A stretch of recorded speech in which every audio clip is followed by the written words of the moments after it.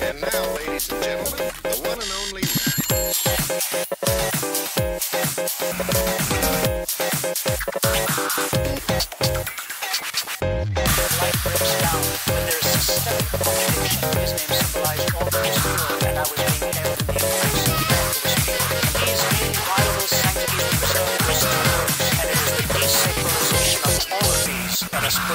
breaks down when there is systemic contradiction. His name symbolized all that was pure, and I was being held in the embrace of it. beast.